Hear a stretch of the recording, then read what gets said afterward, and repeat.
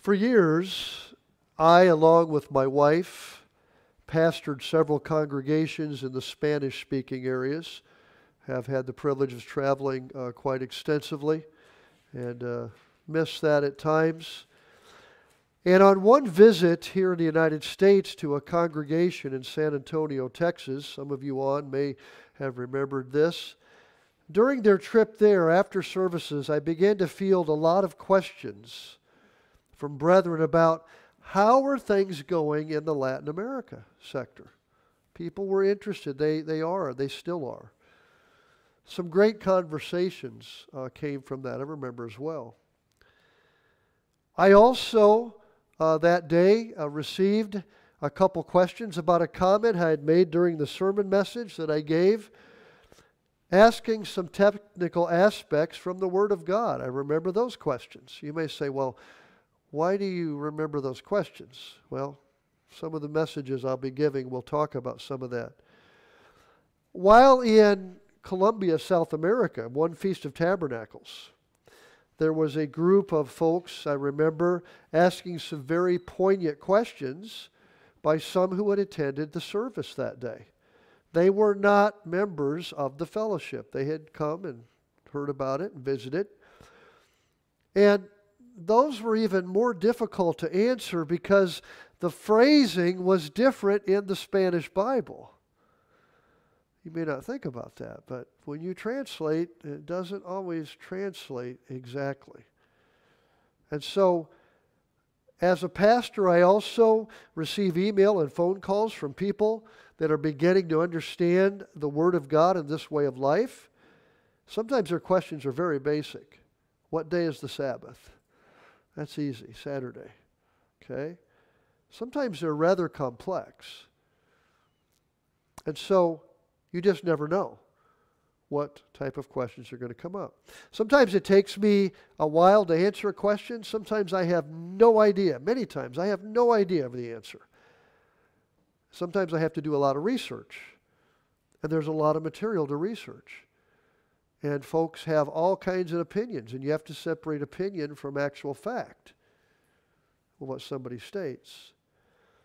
Sometimes I desire to give the person asking the question time to reflect on why they may have asked it. So sometimes I just look at them and go, don't say anything. And they ask the question, and I'll say, well, what do you think? You know? But sometimes I'll say, well, why don't you do just a suggestion, maybe do a little bit more research, and then we'll discuss it. Because what I've learned all too often over the years, a rapid answer by someone who claims to know everything, you don't learn from it as quickly because you don't have to prove it. You just, okay, you said it, it's got to be right. And that leaves you at a deficit. Sometimes the mere volume of questions, this will happen. I can't answer them all, or you can't, or we can't a person may ask a question, and as you're just ready to answer that one, then they have another question, and another question, and another question. And all of a sudden, you've got 10 or 12 questions, and you're like, I forgot what the first question was, and now you're on to this one. And sometimes I'll say, whoa, whoa, whoa, just let's do one or two questions, but let's answer this one first. Have you ever noticed how little children are very curious? my granddaughter's getting older, and I'm watching her develop and grow and learn, begin to learn the words and the English language, and hopefully she'll learn Spanish too. I'm going to work with her parents on that and with her. And they're seemingly always asking questions as they get older. For example, these are ones parents always answer Where do babies come from? Why does it rain so much? Why do I have to go to school? When can I drive the car? When can I get my driver's license? How can I be more popular and well liked at school? Why do I have to go to bed? It's still light out, especially in the summer months. What time is dinner? When are we leaving?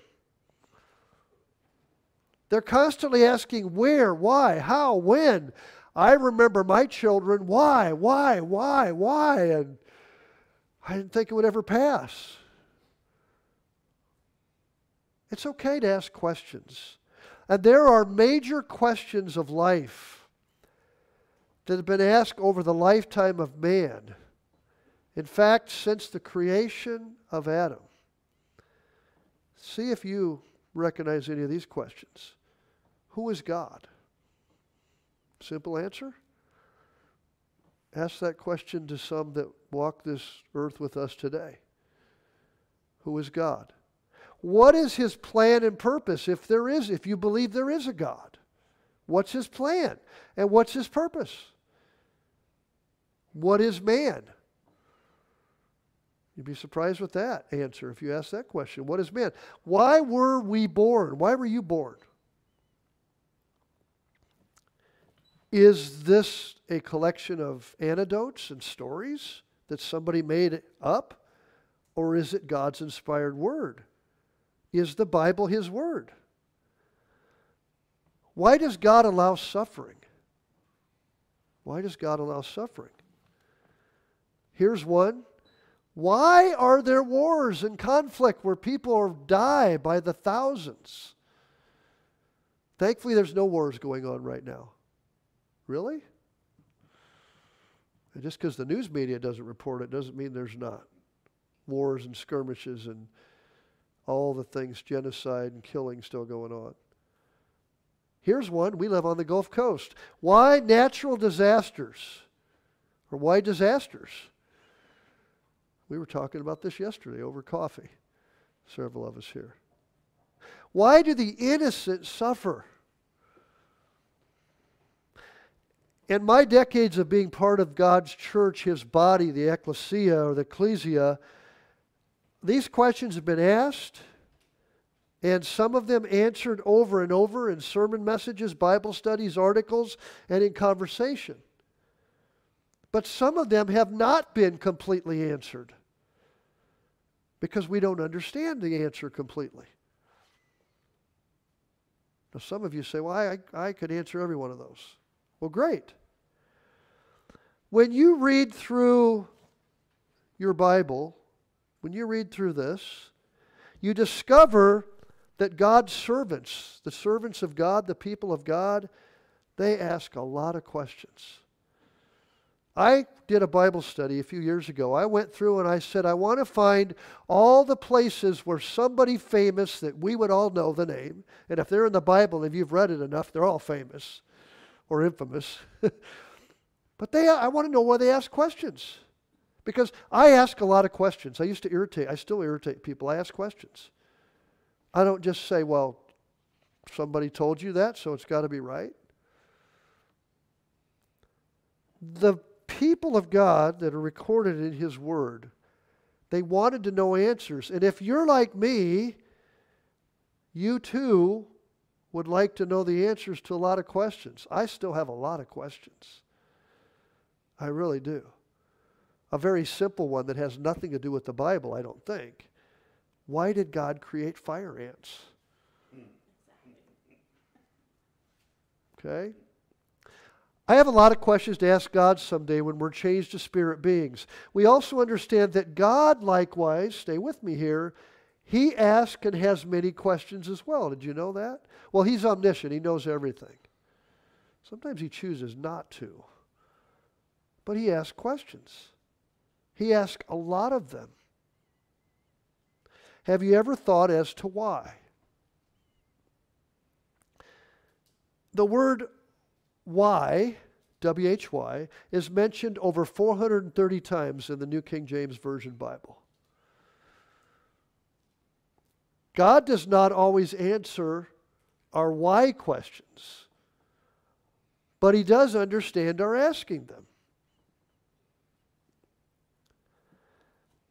There are some very important lessons that you and I are to learn when God doesn't always answer our questions. Do you know that? So, what should we do if we don't receive an answer to our question? Because a very famous individual within the confines of the Church of God was known to say that is a non question. And I used to say it as a student, no, that's a question because I'm asking it. Right? What should we do if we don't receive an answer to the question? Here are some questions humans have asked about God, and we're going to look at a few here today. These are questions that humans have asked of God. Notice the story of Naomi. Let's go back to the book of Ruth.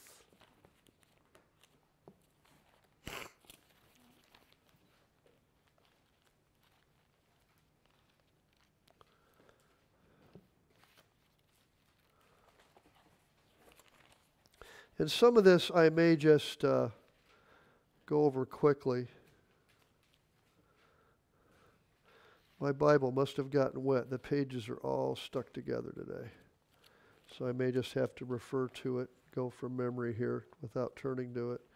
They're really sticking. Maybe I spilled something sweet on it. I'll try it one more time, see if it'll break. There it goes. Okay. Ruth chapter 1. Now, I want to read just a few verses here because these are some interesting questions humans have asked of God. In the book of Ruth, chapter 1, verse 1, it came to pass in the days when the judges ruled, there was a famine in the land. A certain man of Bethlehem, Judah, went to sojourn in the country of Moab. And he and his wife and his two sons, and the name of the man was Elimelech, and the name of his wife, Naomi. And the name of the two sons, Mahlon and Chilion, Ephrathites of Bethlehem, Judah. And they came into the country of Moab and continued there. And Elimelech, Naomi's husband, died, and she was left and her two sons. And they took them wives of the women of Moab. The name of the one was Orpah, and the name of the other Ruth, and they dwelled there about ten years. And Mahlon and Chilion died also, both of them, and the woman was left of her two sons and her husband. So you read through, she basically lost almost everything her husband and her two sons, and she was living in a foreign country. You may have thought, okay, well, so. In verse 8, and Naomi said unto her two daughters in law, Go, return each to her mother's house. The Lord deal kindly with you, and you have dealt with the dead and with me. So she asked her daughter in laws to return home to Moab. We go down to verse 19, and I'm just covering the highlights. The two went till they came to Bethlehem, and it came to pass when they were come to Bethlehem that all the city was moved about them, and they said, Is this Naomi? So the people said, Is this Naomi? And she said unto them, Call me not Naomi, call me Mara, for the Almighty has dealt very bitterly with me. And I went out full, and the Lord has brought me home again empty. Why then call you me Naomi, seeing the Lord has testified against me, and the Almighty has afflicted me? So she went out full, and she returned empty. So? So, anybody ever feel like that? She said, Call me Mara, which means bitter not Naomi, which means pleasant one. Let me ask you a question. What if you lost everything? Maybe you have at one time in your life. What if you lost everything? Would you be bitter? Would you accuse God? Would you probably ask God, why? You ever done that? If you haven't, you're better than me. Said God, you know, was it Kris Kristofferson wrote, Why me, Lord? What have I ever done to deserve even one of the, you know, the song?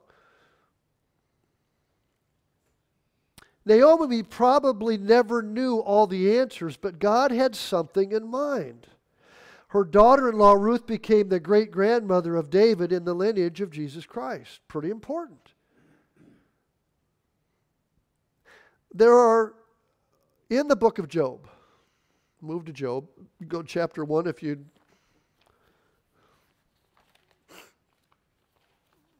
Let's go there for a minute.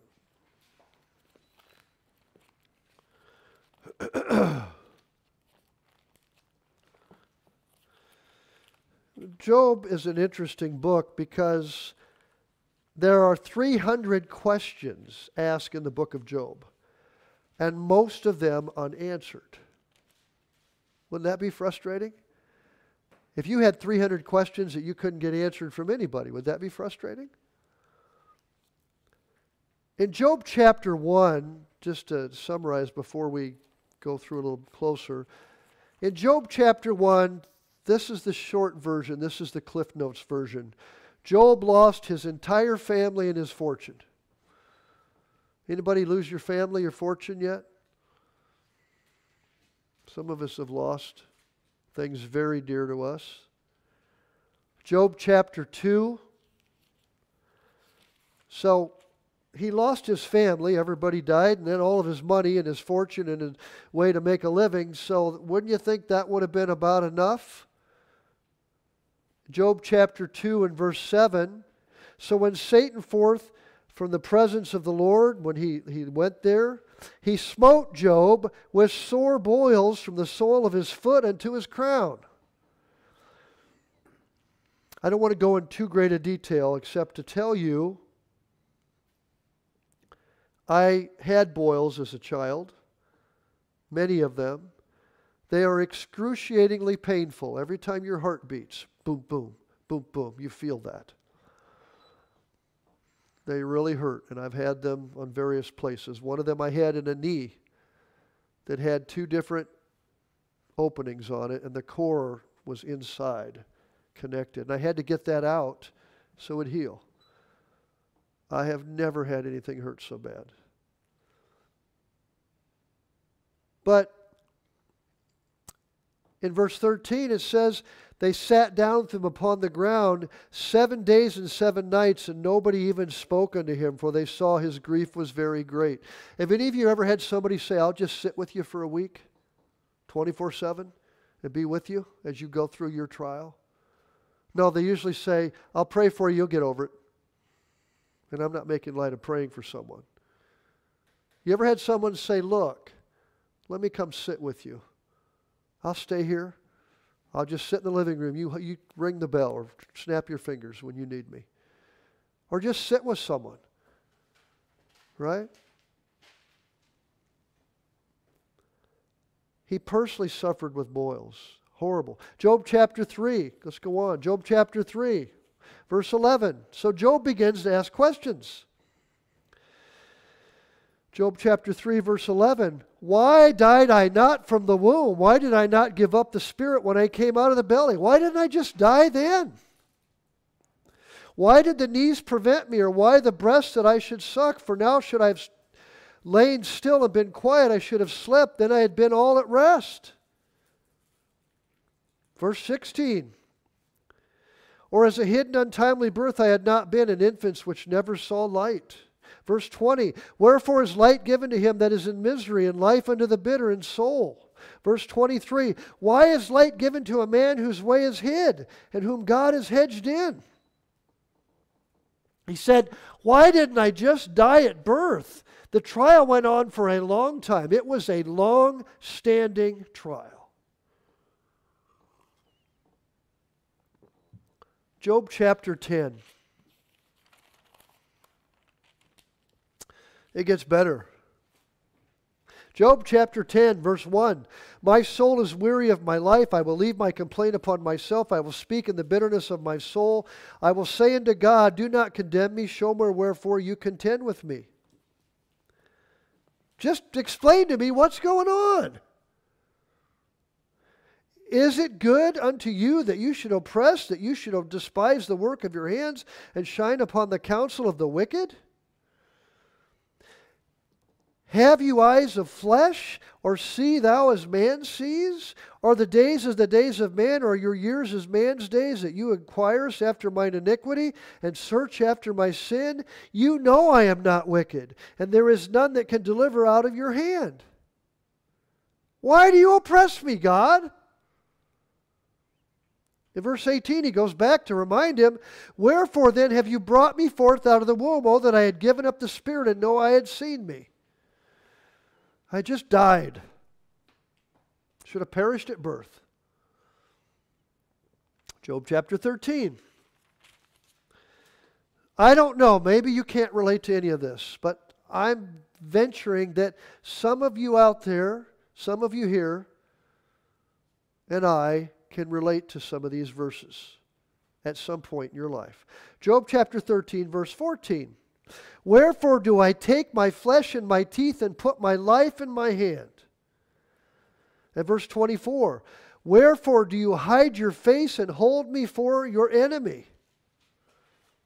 He felt God was his enemy. In verse 15,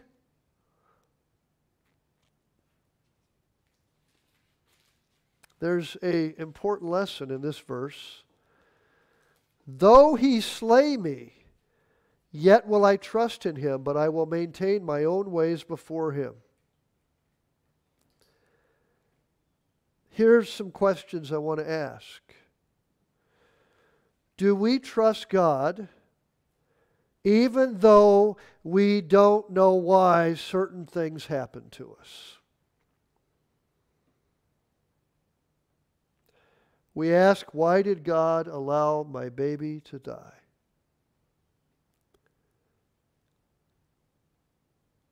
Why can't I find a job? Doesn't God see that we have needs, that we can't pay our bills? Why hasn't God helped me get a job? Why hasn't God healed me? Why am I always having health problems? If you're healthy as a horse, you eat right and you exercise and you always feel good most of the time, you're going to have difficulty understanding someone who everything you eat makes you sick. You will. And I'm not saying that's right or wrong. I'm just saying, isn't it funny how when you get fired or lose a job and can't get a job, you all of a sudden understand someone predicament? Or when you go through a divorce, what that's like. When someone is crying and just said, or devastated and doesn't know what to say and said, My mate left me.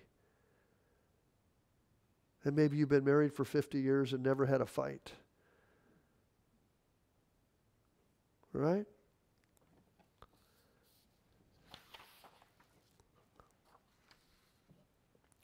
We don't always know why. God doesn't answer immediately or when we want Him to, do we? In Job 21, Okay, Job kept asking questions. That was Job. Job 21, verse 7. Wherefore do the wicked live, become old, and are mighty in power? Their seed is established in their sight with them, and their offspring before their eyes. Their houses are safe from fear, neither is the rod of God upon them.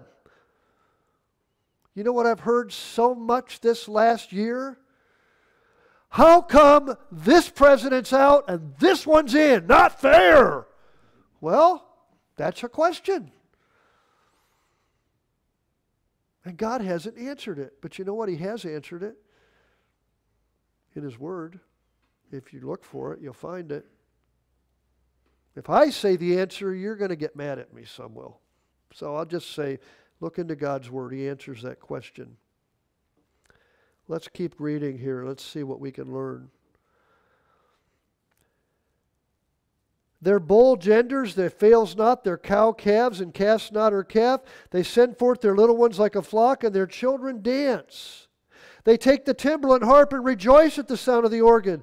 They spend their days in wealth, and in the moment go down to the grave. Therefore they say unto God, Depart from us, for we desire not the knowledge of your ways. Have we heard any of that? What is the Almighty that we should serve Him? And what profit should we have if we pray unto Him? The question is why do the wicked prosper? They don't seem to have the problems that we have. They do, you just don't see them. And some may not have problems. You ever heard the saying, you were born with a golden spoon in your mouth? Some of us didn't even have a spoon, right? But maybe we did and we didn't know it. He asked in verse 15, What profit is there in serving God? If you've never in your Christian walk asked that question, then I commend you, but most of us have. What do we gain in this life? You see, God is not working with the world presently, calling them. He causes it to rain on the just and the unjust. God is dealing with His children, His servants, working with them. He's interested in developing our character, as I gave in a message recently. And He's always going to do what is best for us to help us obtain and be part of His family and in the kingdom of God and through eternity. Because He wants us in His family and to give us, as Paul wrote, penned under inspiration, a better resurrection and to be able to serve and help others for eternity. When we were sitting here talking yesterday, one of the folks here was talking about their past. And what kept going through my mind is you are going to be the go to person for folks that have had a really difficult life. Because they're going to understand what it's like. And you're going to be able to help them. Notice another servant of God, David. David never had any questions, right? He's going to be king over all the Israel in the future, all of Israel in the future. Yet he had his struggles. Psalm chapter 10. Psalm chapter 10 and verse 1. Psalm 10 and verse 1. David had lots of questions for God. Why do you stand afar off, O Lord? Why do you hide yourself in times of trouble? When I really need you, where are you?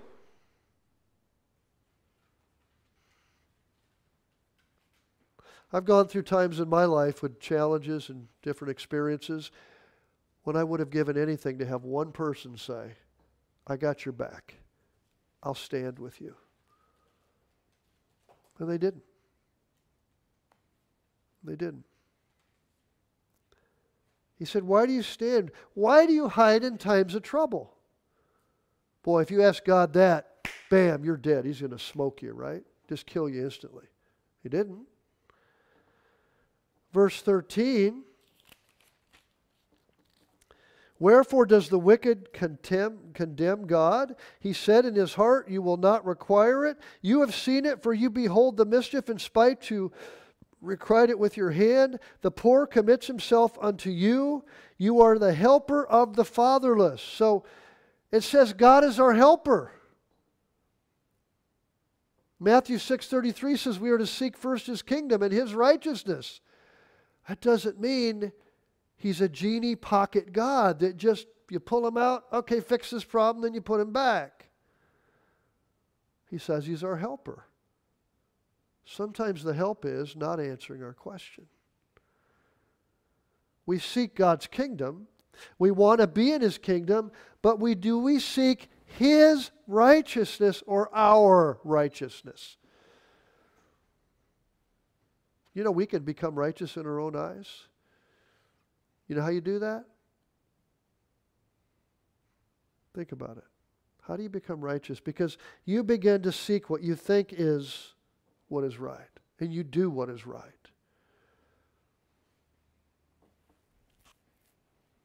Yes, you need to do what is right, but you need to make sure that why are you doing it? Who are you doing it for? Who gets the glory? Who gets the praise? What is the purpose of it? Psalm 42. Again, we're talking about David. Psalm 42. Psalm 42 and verse 5. Why are you cast down, O my soul, why are you disquieted in me? Hope you in God, for I shall yet praise him for the help of his countenance. Verse 6 O my God, my soul is cast down, therefore will I remember you from the land of Jordan and the Hermonites and the hill of Mizar. And verse 9, I will say unto God, my rock, why have you forsaken me? Why do I go mourning because of the oppression of the enemy? Why have you forsaken me, God? And yet he says our hope must be in God. God wants to know that we will put him first. We can give him lip service, but when your whole life somebody dumped your groceries out in aisle six at Walmart and it's flying all over the place and you got no new bag to pick it up, and maybe your back's so bad you can't bend over, what do you do? We are to love God and obey Him even if we don't understand why God commands it. Many have kept the Sabbath and the holy days for years without fully understanding the purpose. But many, and some I've talked to, have said, I don't know why I did it. All I could read was God said to do it, but I didn't understand it. But He said to do it, so I did it. God tells us to do things at times that humanly we don't understand or see why, but he says, do it.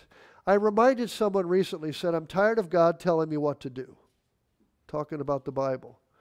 I said, Well, look at the bright side. He hasn't asked you to hide your underwear in the rocks yet, or lay on one side for two months and then flip over on the other side for another month. There's a lot of things he hasn't asked us to do. What he did say was, Take up your cross and follow me. Proverbs 3 5 and 6 says, Trust in the Lord with all your heart. Don't lean to your own understanding. In all your ways acknowledge him, and he will direct your paths. That's a mouthful.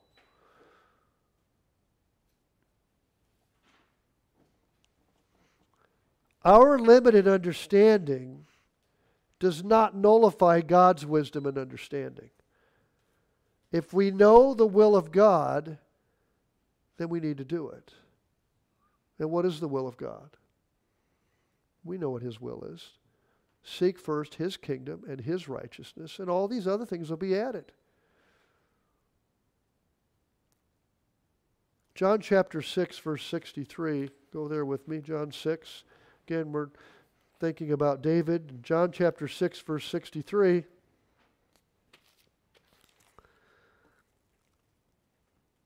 It is the Spirit that quickens. The flesh profits nothing. Did we read that? It's the spirit that quickens, the flesh profits nothing. The words that I speak unto you, they are spirit and they are life. God's words are and give us life. John 17, 17, God's word is always truth. We were talking about that yesterday. Wouldn't you like to sort through everything going on in the world right now and say, what is true? Just tell me the truth. I think I don't like you, you're ugly, and if I never talk to you again, I would feel a lot better. Ow! But it's better than, love you, brother.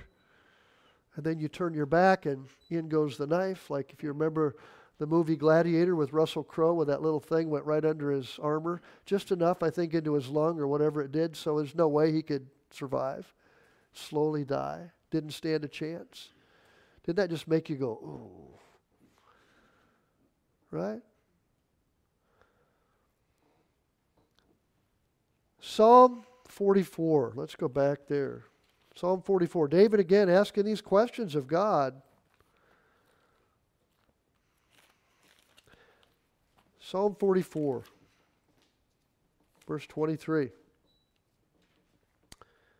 Awake, why do you sleep, O Lord? Arise, cast us not off forever. Wherefore do you hide your face and forget our affliction and our oppression? For our soul is bowed down to the dust, and our belly cleaves to the earth. Arise for our help and redeem us for your mercy's sake. Why do you hide your face and forget our affliction? Does God really forget our afflictions or hide his face? No. God wants us to learn to trust and rely upon him. Abraham did not fully understand why God wanted him to leave his country and go into the promised land. But he did it because God said, Go do this. How many of you have had a boss at one time say, Bruce, you got to go do this, or you're not going to be employed here anymore? And you're like, Are you kidding me? Maybe that never happened. But if any of you have had a boss, at some point you've thought, Are you kidding me? Right? Maybe your mom and dad, or maybe your husband or wife, I want you to go do this. And like, Are you kidding me? I ain't doing that. Right? And God says, I want you to do this. And you're like, think about Moses. Chose to give up all of that power and prestige to what? The affliction with the people of Israel for how many years? I think it calls it a season, a long season. You ever ask God the question, okay, I'm committed to this way of life. I agreed to it, baptized, got it. Let's do it. And then he says, okay, things are going good. Now let's, I want you to go here. And you're like, whoa, what'd you say? I want you to go here. And you say, no, I'm good here. And he says, you to do what I ask or am I to help you? And you're like, why? And we may never know the answer to that until this flesh is done in the resurrection, and then it, he says, Here's why I did what I did. This is why you went through what you did. Well, how come they couldn't instead of me? God says, Because I want you to do it. These are questions. I, I don't know. I just ask questions like I want to know. Let's we're, we're talking about Moses. Moses and Israel. Let's go to Exodus 14. Verse 10. And when Pharaoh drew nigh, the children of Israel lifted up their eyes. Behold, the Egyptians were coming after them, and they were sore afraid. If you want to know what sore afraid is, read the three little pigs. And the wolf puffed and he puffed and to blow their house down, and the, the, pea, uh, the pea little thrigs. The three little pigs were sore afraid. They were scared to death. Their knees quivered. And the children of Israel cried out to the Lord. Let's keep going. Verse 11. And they said unto Moses, because there were no graves in Egypt. You have taken us away to die in this wilderness. Where have you dealt with us to carry us out? So right away they turned and attacked Moses. Is not this the word that we told you in Egypt? Have you forgotten you have Alzheimer's? Let us alone that we may serve the Egyptians. For it had been better for us to serve the Egyptians than we should die in the wilderness. Talk about fallacious reasoning and dysfunctional thinking. So, what did Moses say? Don't fear, stand still, and witness and observe the salvation of the Lord, which he will show to you this day. For the Egyptians who you have seen, you're not going to see them ever again, forever. The Lord will fight for you, and you shall hold your peace. Translate that God's got this, shut your mouth. Quit complaining. But he didn't lecture them after that.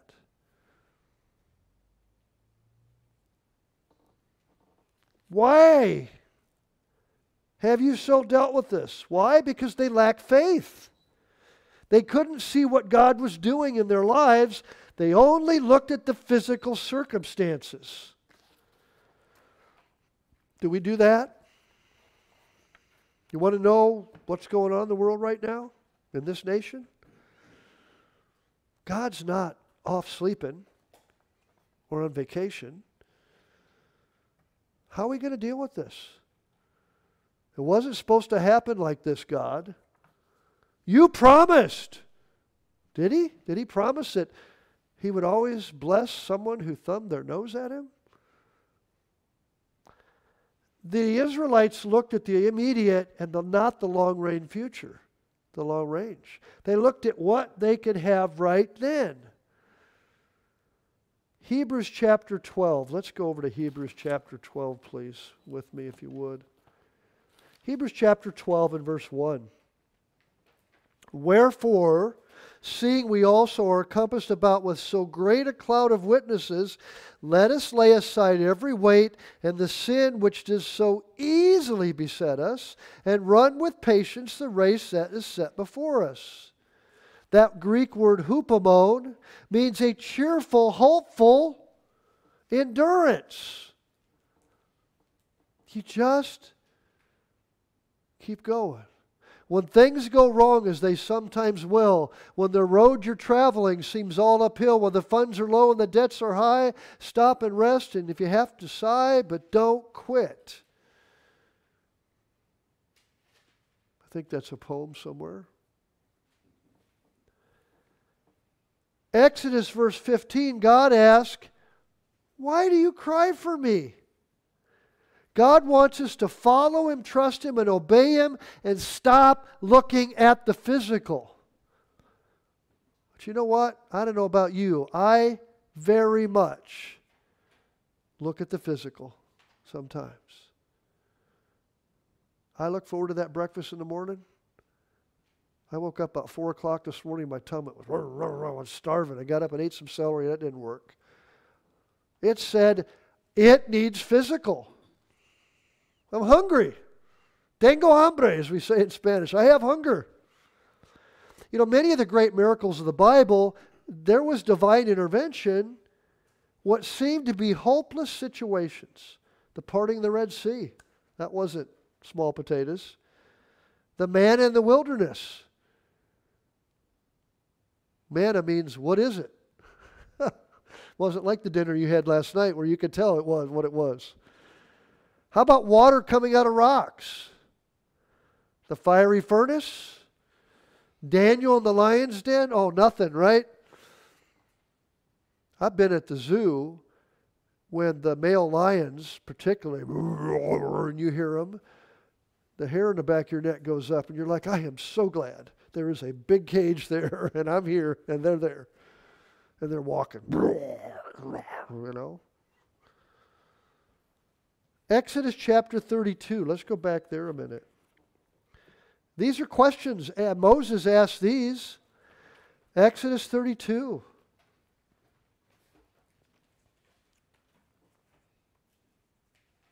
Verse 10. Now therefore let me alone, that my wrath may wax not against them, that I may consume them, and I will make you a great nation. And Moses besought the Lord his God and said, Lord, why is your anger so much against your people, which you, you have brought forth out of the land of Egypt with great power and a mighty, mighty hand? Wherefore should the Egyptians speak and say, For mischief did he bring them out to slay them in the mountains, consume them from the face of the earth? Turn you from your fierce wrath and repent of this evil against your people. Hi, hi, hi. You tell God, what were you thinking? You need to repent and change those thoughts? He did. That's the kind of relationship he had with God.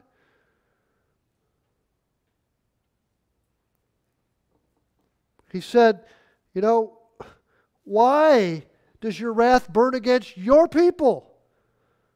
Sometimes God allows difficulties because we disobey Him. We put something before God in place of God, and it becomes our very own golden calf. You know that? We put something ahead of God. Now, we say we don't, but God says, well, you are. And when He brings it to our attention, we're like, no. Whatever it is, each one of us is unique. In Moses, another story, you can just jot this down Numbers 11, verse 10 to 17. Moses said, Why have you afflicted your servant? Why have I not found favor in your sight? Because God knows too what our breaking point is. He said He won't try us, tempt us, put us through things that are beyond what we're able to handle, but we remind Him, I've had enough. I can't handle it no more. And He says, Yeah, you can. You're my child. I'm going to strengthen you. You rely more on my spirit and less on you and I'll show you what I can do. As he said to Zerubbabel, not by might or power, but by my spirit. There were lessons that Moses needed to learn because he had not come to the point of sharing responsibilities. One of the things with others, he was wearing himself out. Remember how he just kept pushing and pushing and pushing and going? And God said, Think about what's happening here. We do that as human beings. We just push. Men are, I think men are more, have a proclivity to this more. Just give us a bigger hammer, enough C4, whatever it is, we'll take care of the problem. Right? And God says, no, that's not going to work. We're like, it's always worked before. It's like, it's not going to work. You ever try to lift something, you can't lift it? And talk to the men here. You ever tried to lift something, you just can't move it? And maybe two or three people can't move it? Or you're like, if I just had this, I could do this. I could fix this problem. And you don't have it, and no one has it. We were in East Africa one year for the feast, and we had this makeshift lectern with these crates that were all not same size and bottles in it and board, and it was all wobbly. You couldn't touch it. I went down to the hardware store in Nairobi and I said, I need some drywall screws and some duct tape. And they said, What? I said, You know, screws, describing it. And it was a hardware store. There were no screws in the store. I said, Okay, duct tape. They're like, like whack, whack. No, duct tape. It's, it's a type of tape that's real sticky and strong. I just duct tape it together. They didn't have any. I'm like, how can you be a hardware store? They're going, we're the best hardware store. We got everything except the two things I wanted. What about Gideon? Let's talk about Gideon for a minute. These are people that ask questions of God. In Judges chapter 6, in verse 12 to 14, Gideon asks, Why then has all this happened to us? Hmm. Verse 1 it then says, well, because they had done evil in the sight of God. Many times, brethren and friends and family, you and I bring our own problems on ourselves. I remember growing up one time, my dad said to me, I said, Why do I get in trouble with this and this and this? He said, Because you open your mouth. Just be quiet. And I thought, well, you got to open your mouth. I ain't going to put up with that. He said, You got to learn to put up with that. I want to give him a piece of my mind, however little it is. Right? When a police officer pulls you over and says, Good evening, ma'am, and you're looking at him and he said, Do you know how fast you were going? Is not the time to say, Go get a donut, bucko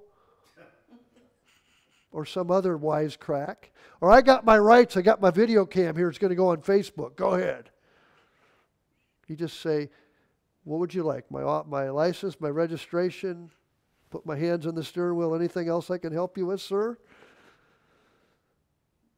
Or maybe he says, What's your name?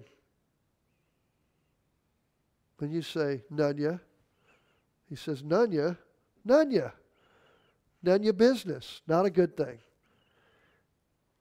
Or what about if somebody says, Why didn't you do this? And what were you thinking here? You just look and say nothing sometimes. Just be quiet.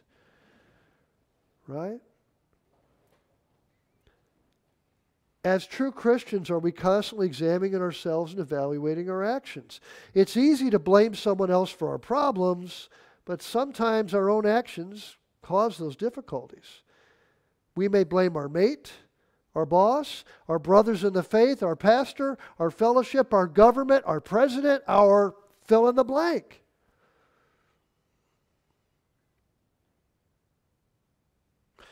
When Adam and Eve were in the garden, do you remember what happened? What did Adam say?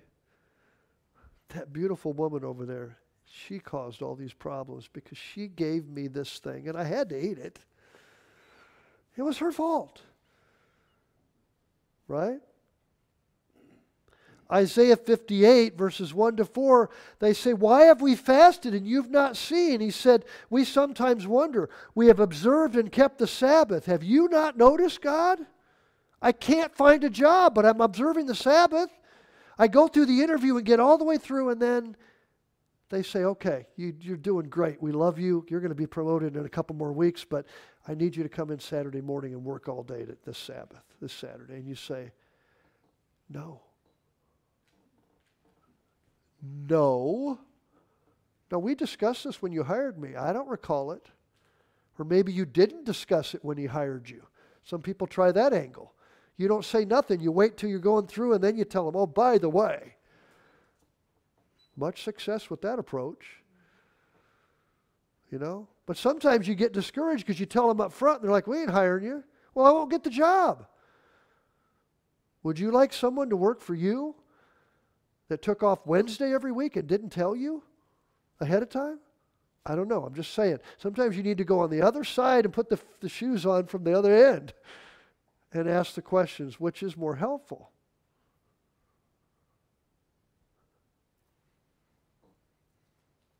Maybe we've asked the question God, I've tithed faithfully. Have you noticed? I'm really like going in debt further and further. God, I've trusted you for healing, but you haven't healed us. God still heals today, by the way. I could share some stories with that, but not all the time. So then, do we determine in our mind, well, God doesn't heal? We could cite all so many other examples in the Bible, what we're talking about, where people have just simply asked questions of God, and we have questions. Here are some questions now asked by God. You ready? These are the questions God has asked. Genesis chapter 4, we know this story. Genesis chapter 4, these two individuals. Verse 6 The Lord said unto Cain, Why are you angry? And why is your countenance fallen? There's no need for this. Talk to me. What's happened? If you do well, will you not be accepted? And if you do not well, sin lies at the door, and unto you shall his desire, and shall rule over him. Why are you angry? He said. If you do well, you'll be accepted. The reason was Cain had a wrong spirit. He was angry. Why? He didn't do what God said, and he was angry at God for not accepting him. He also was angry with his brother because his brother was righteous and he was not. And the other difference is the offering he gave was simply a thank offering. And it's okay to thank God, but Abel's was one of repentance. There's a big difference. Sacrifice of a contrite spirit and broken heart when God intervened and asked a question, there was a purpose behind the question. God was trying to help Cain by pointing out his sin and the action he needed to take. And you know what? God doesn't ask questions just so he can complain. He asks questions for a reason. Jo- Joshua, let's go over the book of Joshua, verse chapter 7. Joshua chapter 7, verse 1.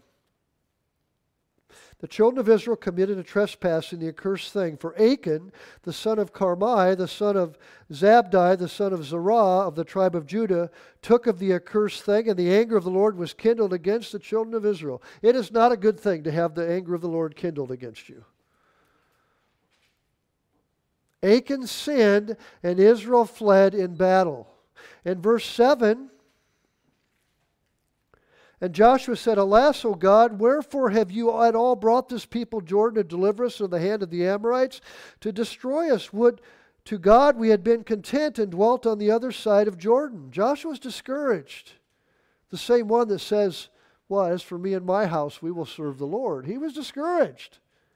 And verse 11, or verse 10 rather, Joshua asked why. Verse 10 The Lord said unto him, Joshua, Get up. Wherefore you lie upon your face? You're a leader. Get up.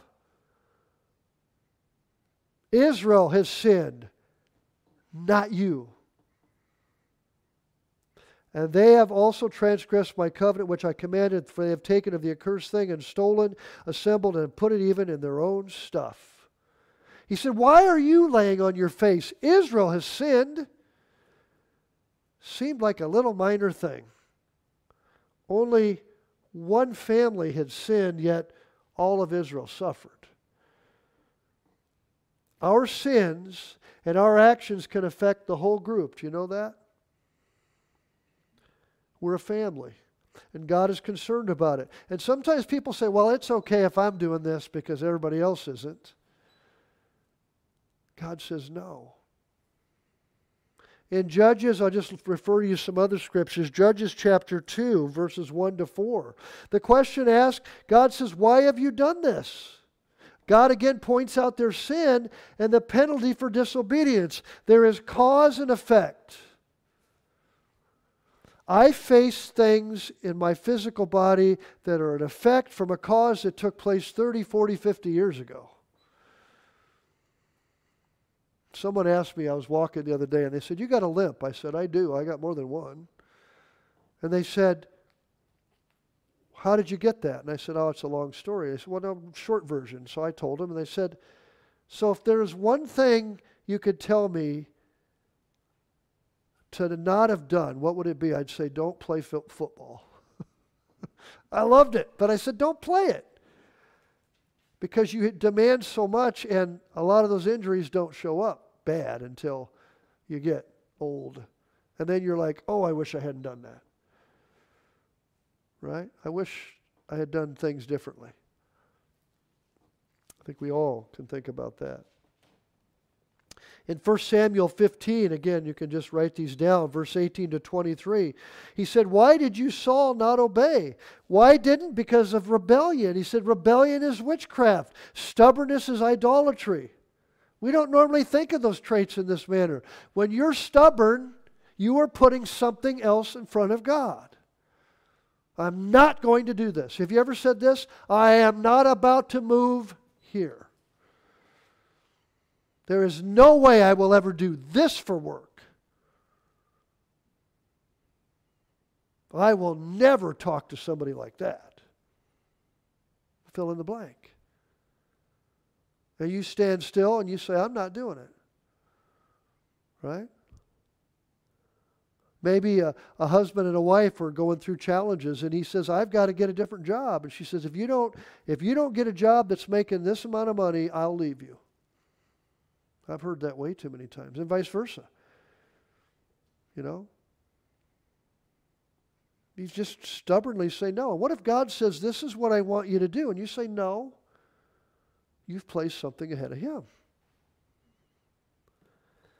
In Matthew chapter 6, starting verse 27 all the way through 33, why do we worry about things? Let's just go over there quickly and look at it. This is all familiar, but Matthew 6, verse 27.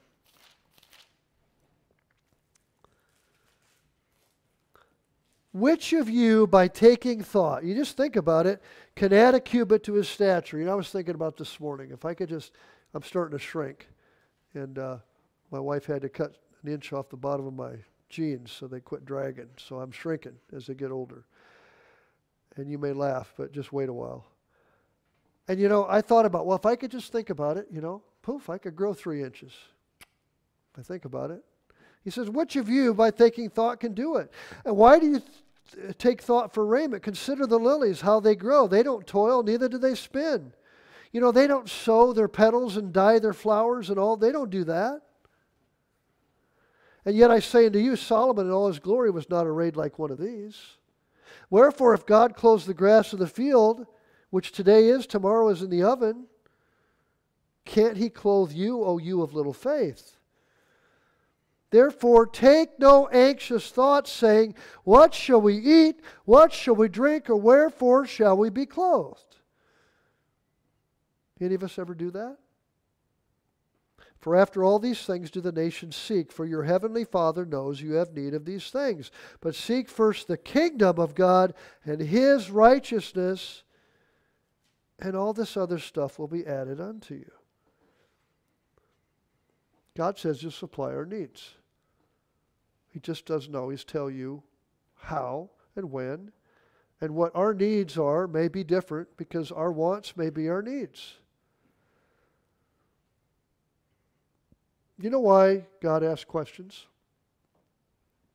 To point out for us to stop and read and think about and give us the right approach and the right answer if we're open and yielded His Spirit to listen. Matthew chapter 7, verse 3. I want to read this because this is a common challenge we can all face. Matthew 7, 3.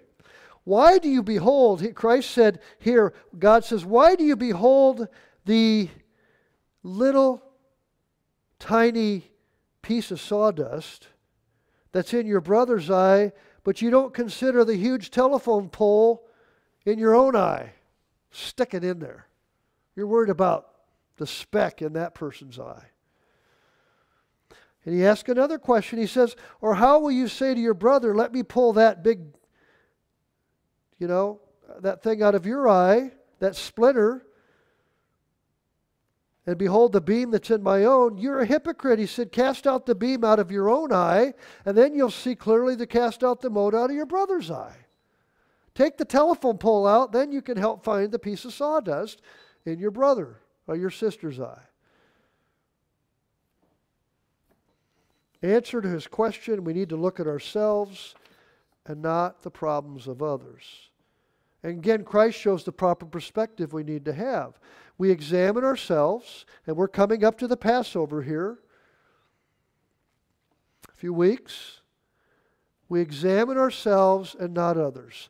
My job as a pastor to minister is to serve and help. It's not to say, mm, now here's the things you need to work on. I got four pages right now.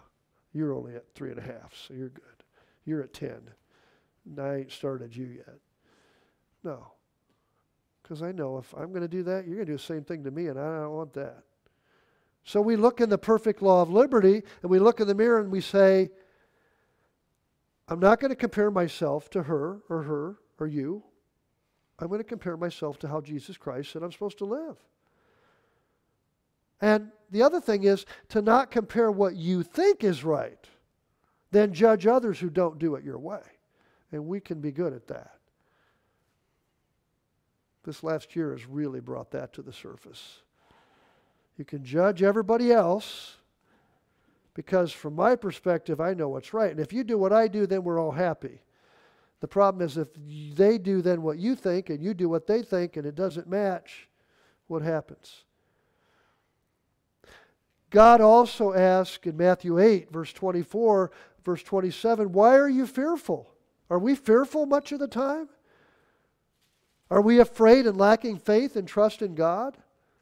Let me say this Are you afraid of a virus that's going to kill you? Some won't leave their house. They won't fellowship. They won't do anything. They're scared to death. That's not from God. There I said it. Hope you're not offended too much. Are you fearful? Well, you can do your best, take precautions, but we're supposed to live, and you can't be a light in the world, an example, if you're hermetized. You know, get under a giant five gallon bucket with a hole with a straw to get air, and a little jar of water, a little food, and place to use the restroom, and don't interface with anybody ever again. And maybe you'll live to a ripe old age of 114. Are we fearful? Matthew chapter 14, Peter doubted. He looked at the physical evidence, the storm, the waves, the wind. He feared. And brethren, fear is an enemy of faith. Doubt is an enemy, the destroyer of faith. Peter had very little faith. Let me, real quick, I want to look at on two other verses because Jesus Christ had questions. Do you know that? Jesus Christ had some questions of his Father. The most famous, Matthew chapter 27. Matthew 27, verse 45. And we'll be talking about this at the Passover. Matthew chapter 27 and verse 45.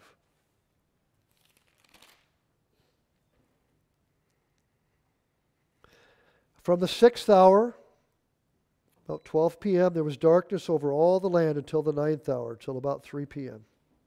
And about the ninth hour, Jesus cried with a loud voice, saying, Eli, Eli, Lama Sabachthani, my God, my God, why have you forsaken me? Apparently, when God placed the sins of all mankind upon Christ, the Father turned his back on his own Son. Psalm 22 prophesied it, but Christ stated it as something he had not known or anticipated. And yet he was willing to carry through with the work God had given him to do to be a sacrifice for sin. Jesus gave himself on the cross with his own question unanswered. You and I are to trust God even though there will be things we don't understand. We don't have to have all of our questions answered up front before we choose to trust God. Knowing God can be trusted should be enough. God needs to know and must know that we will trust Him for all eternity. We're going to always have questions as human beings. But, friends, let's you and I trust God knowing that someday we'll indeed understand the answers more, much more clearly. But until then, we have to trust Him completely, for He is our God. Join me in prayer if you would and rise.